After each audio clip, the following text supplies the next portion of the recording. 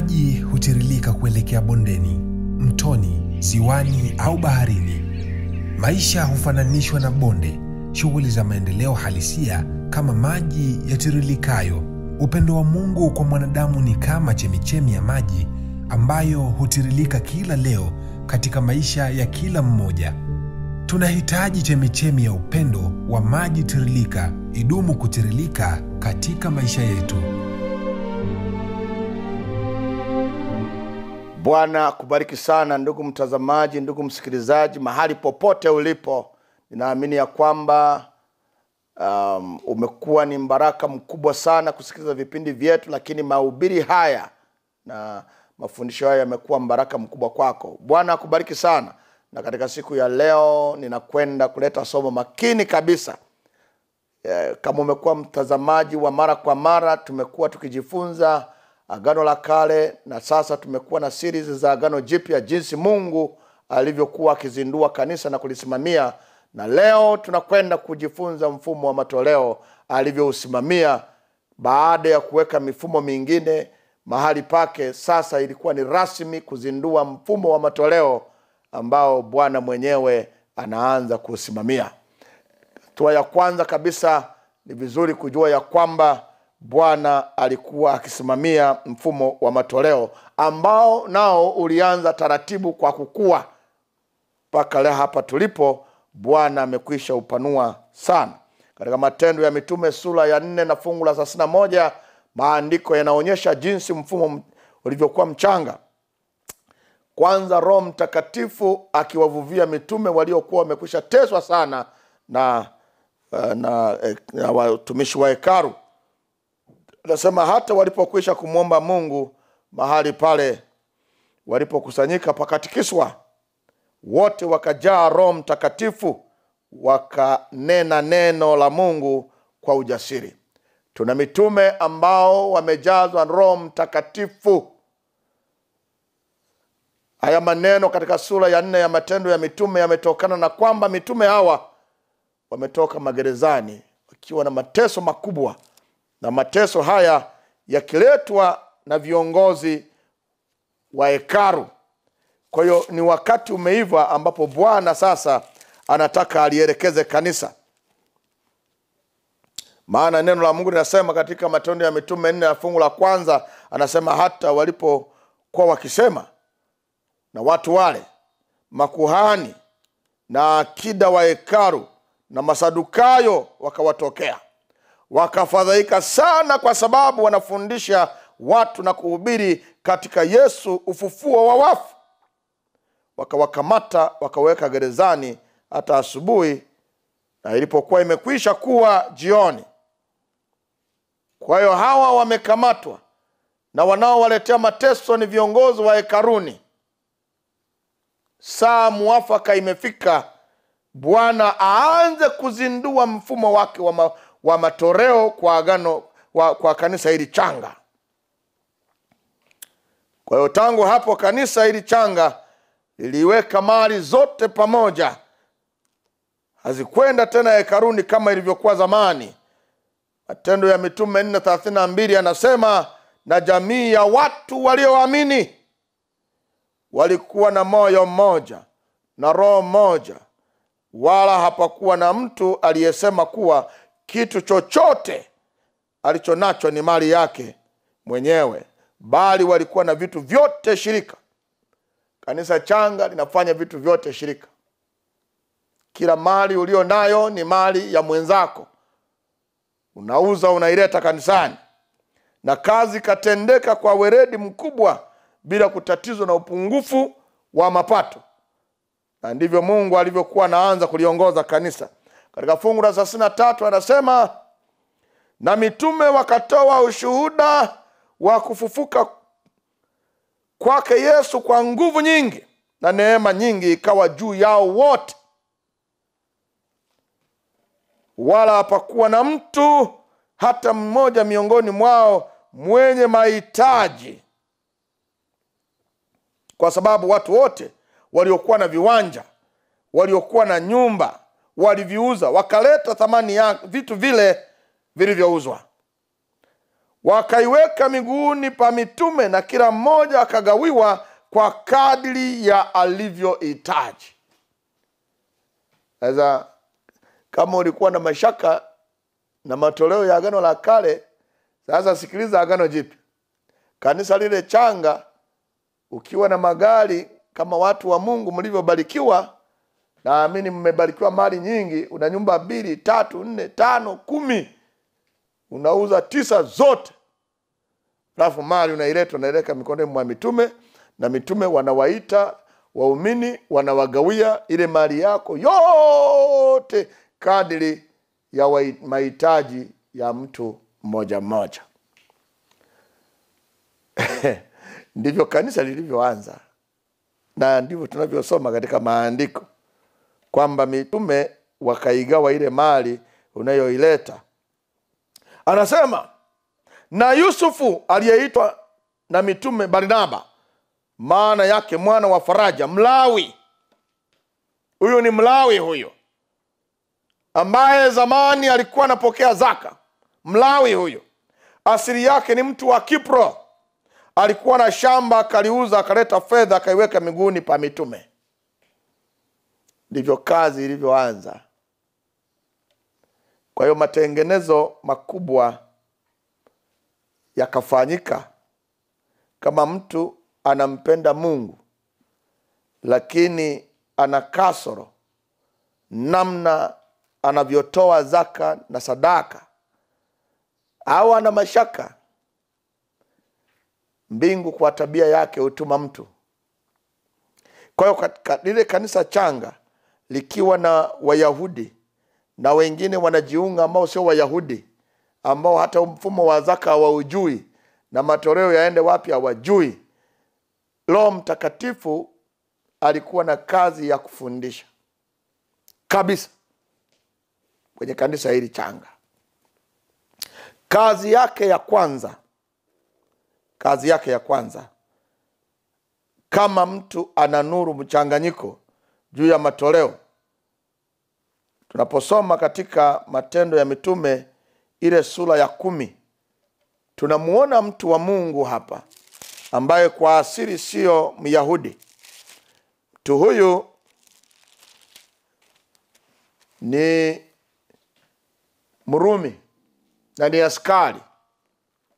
Anasema palikuwa na mtu kaisaria jina lake kornelio akida wa kikosi kilichoitwa kiitalia.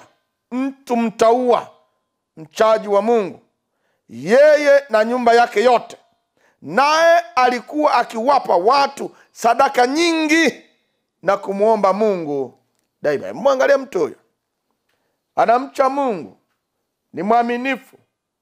Lakini katika mfumo wake wa matoleo ana ana ana ana anachukua sadaka anawapa watu. Aileti hekaruni wala haileti kwenye sinagogi wala haileti miguuni ma mitume kama ambavyo roho mtakatifu anaongoza kanisa hatua kwa hatua. Lakini mtu huyu anamcha mungu na anafanya hivi kwa nuru ndogo aliyo nayo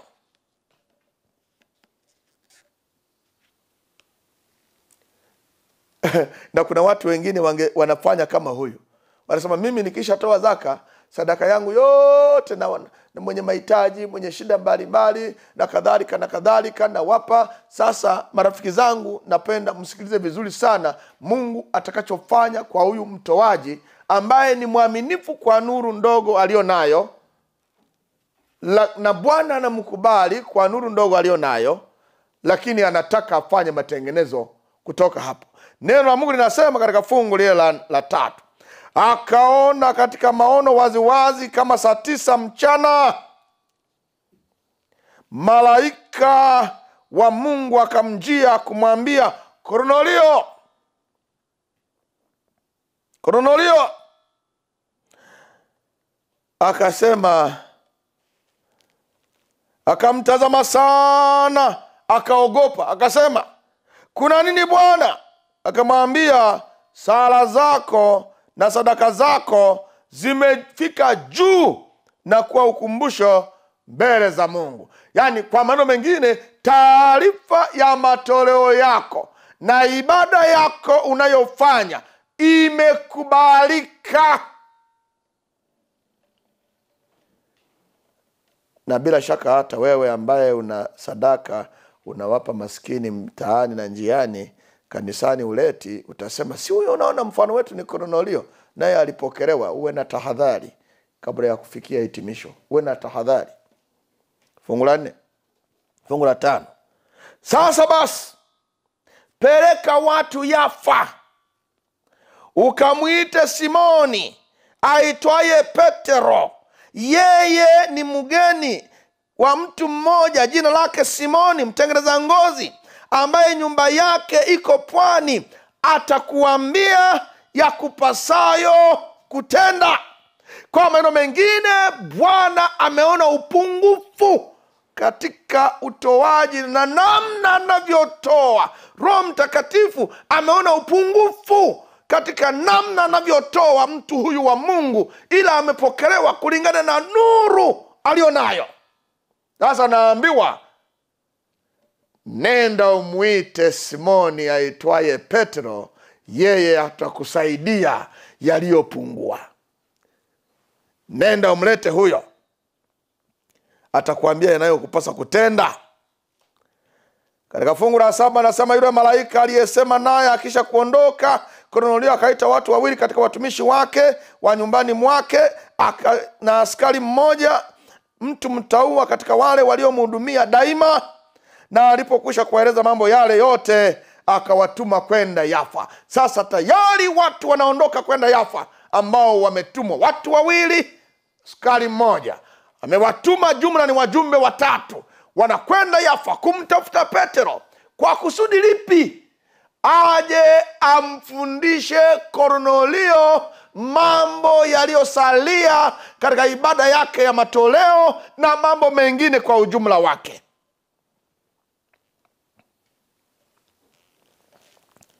kornelio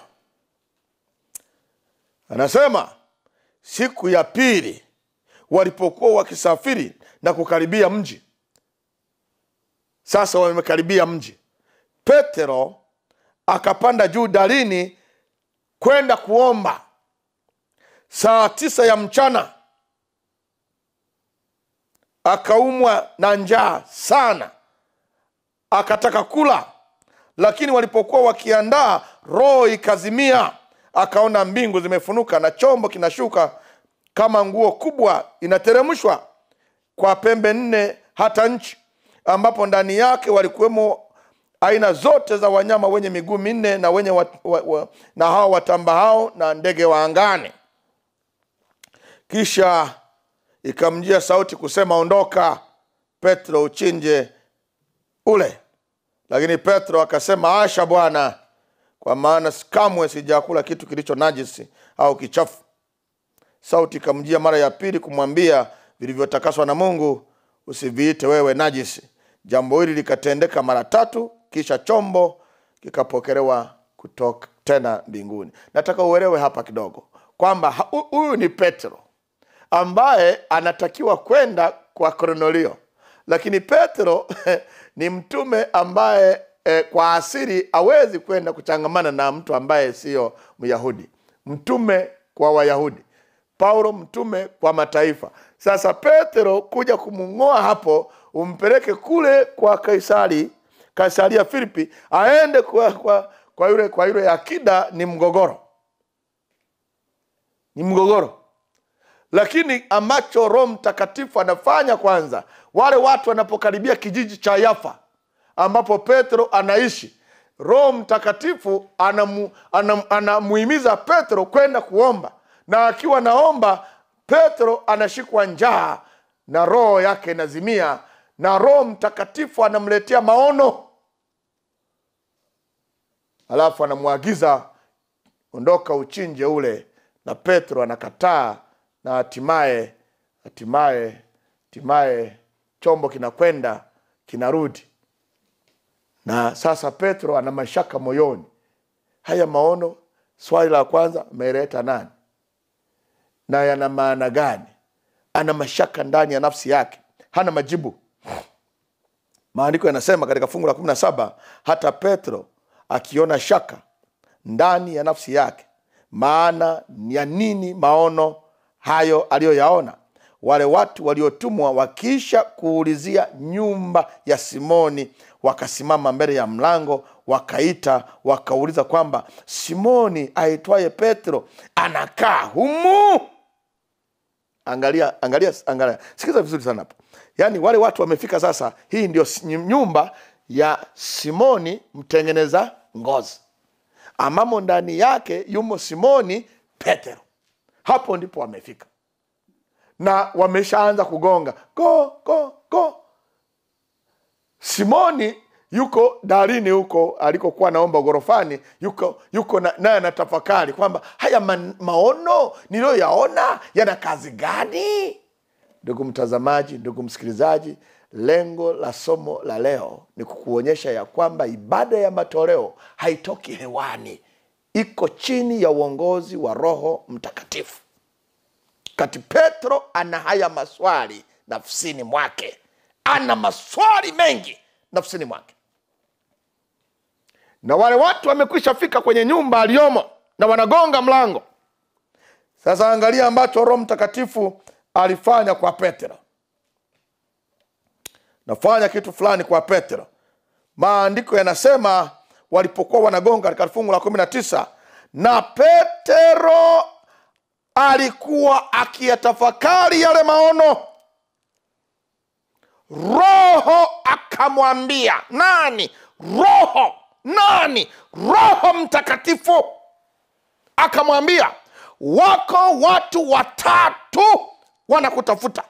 Wale watu wanagonga mlangoni yeye simoni petro anaambiwa na roho mtakatifu mkavu mkavu wako watu watatu wanakutafuta basi ondoka ushuke ufuatane nao usione tashwishi.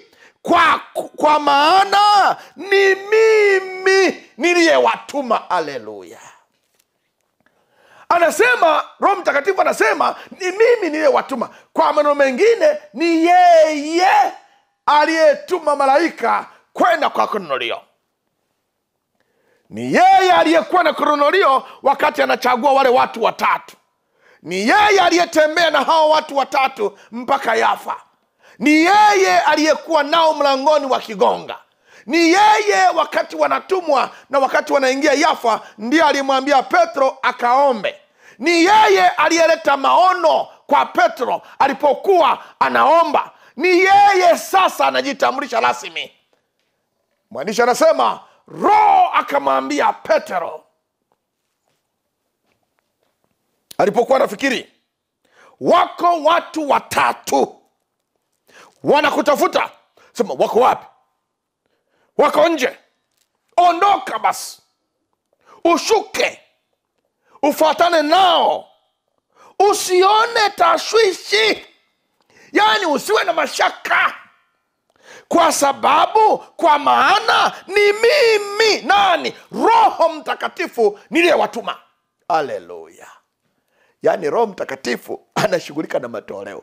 Amemaliza kumwambia kornelio kwamba haya matoleo yako yamepokelewa mbinguni. Zipo kasoro ndogo ndogo kwenye matoleo na kwenye mambo mengine ambayo wewe ujayajua ujazijua sasa mtume mtu aende yafa.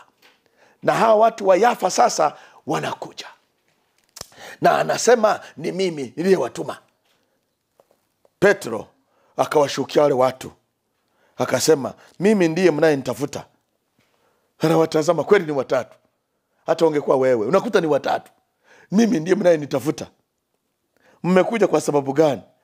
He, wakasema kornelio akida mtu mwenye haki mchaji wa mungu aliye na sifa njema katika taifa hilo ta wayahudi alionywa na malaika mtakatifu kutuma watu kwako uende nyumbani kwake apate kusikiliza maneno kwako. Kawakaribisha wale wageni.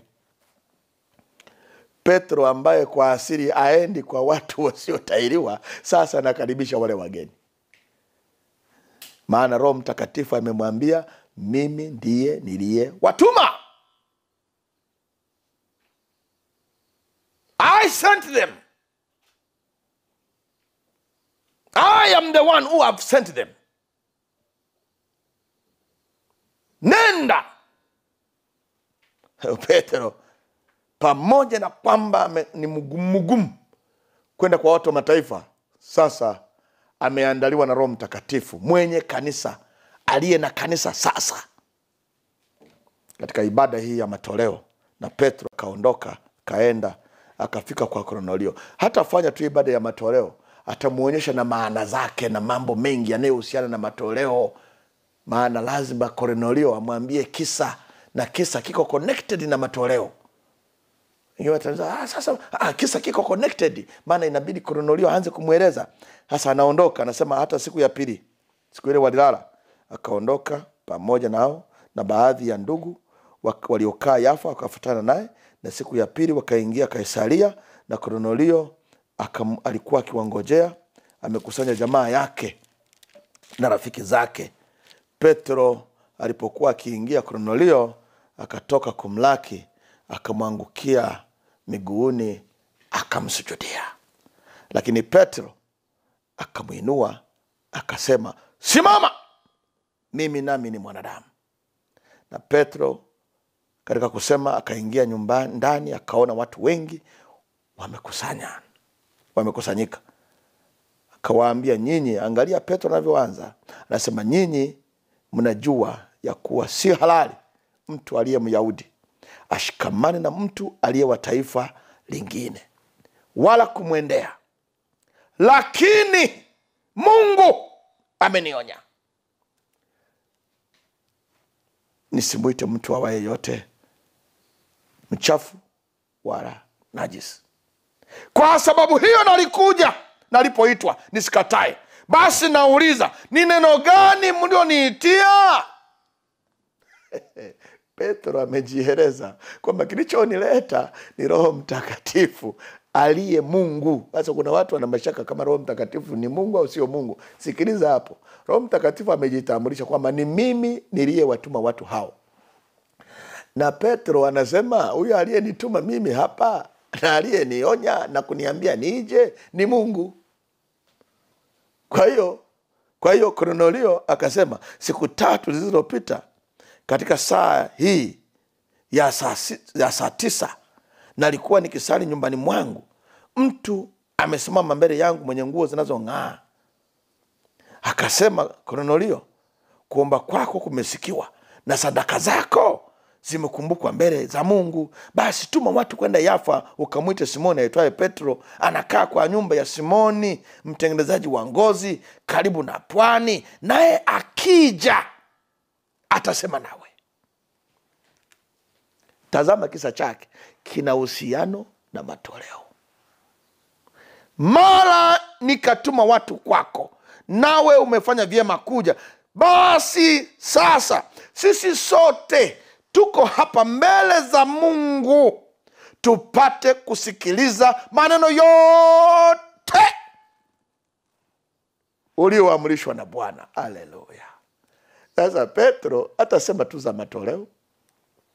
Matoleo anatakiwa tu kukaa na huyu kwamba ukitaka kutoa ni hivi na hivi na hivi na hivi. Ataeleza mambo mengi yanayogusa ibada ya matoleo na kafara ya yesu kristo. Kwamba ibada ya matoleo yoyote iwe zaka iwe sadaka bila mahusiano na yesu bila kugusa maisha ya kafara ya yesu ya msalaba haina faida.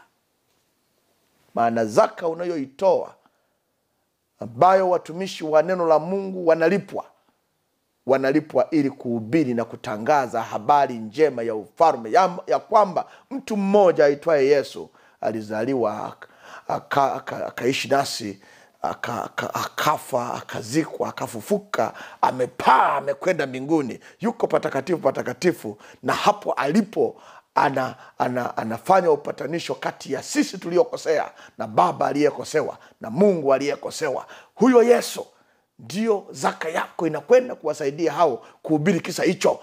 Anasema mwaitangaza mauti ya bwana hata ajapo. na kazi hiyo ndiyo inafanywa na zaka na sadaka yako.